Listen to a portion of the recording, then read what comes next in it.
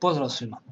U ovom klipu ću da vam objasnim znači kako možete da instalirate poznatu aplikaciju e, za mobilne telefone koja se koristi za razgovore i za razmjenu poruka Viber.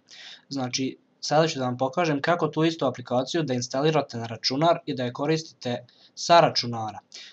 Ovaj način je veoma dobar za one koji ne posjeduju smart telefon, tako da mogu da koriste Viber i bez svog smart telefona. Potrebno je samo aktivan prepaid ili postpaid broj. Naravno mora da bude mobilni, ne može da bude fiksni.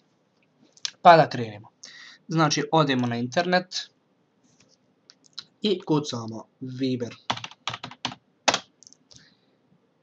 Kada dobijemo stranicu Vibera, evo je, kažemo JIT Viber.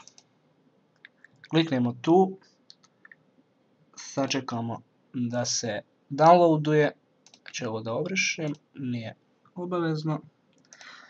Nađemo gdje nam je to skinuto, ta instalacija. I evo je, znači ovdje je kod mene Viber, kliknemo na nju. Sačekamo malo dok započne instalaciju.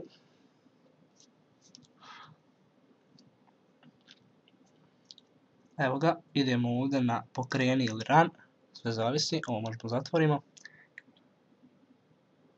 I kažemo accept install.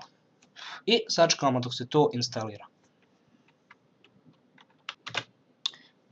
Kada se instalacija završi, znači sačekamo da ovo, da ovo zeleno znači popuni se do kraja.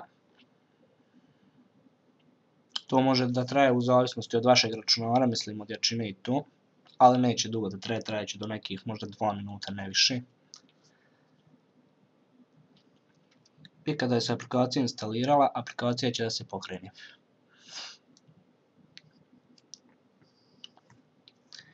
Ovdje kaže welcome Viber, znači idemo na yes. Ovdje moramo da unesemo svoj broj telefona. Znači sa nulom, nebitno. I kažemo customize.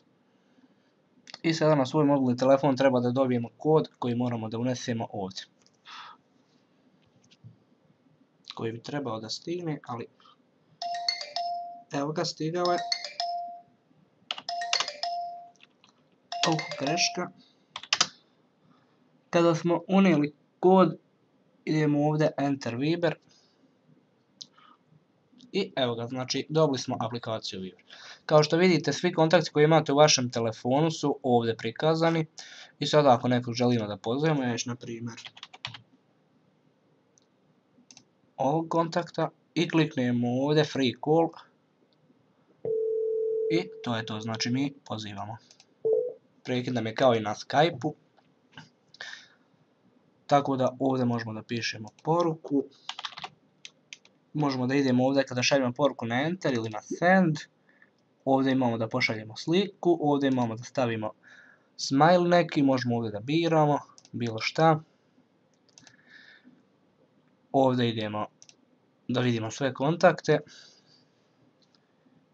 I što se tiče te aplikacije, to bi bilo to. Samo još ću da vam pokažem, znači, ako neko želi da mu se ne podiže automatski sa sistemom, idemo ovdje na ovaj kao zupčanik, idemo na Basic i ovdje kažemo Start Viber on System Windows. Startup u stvari. Raštikliramo, kažemo ovdje OK i to je to. Znači aplikacije je moguće povećati preko cijelog ekrana. Tako da, to je to. Znači ovdje još jednom pokažem da idemo na, da imamo sve kontakte. I to bi bilo to. Šta vam drugo kažem, lajkujte, subscribeujte.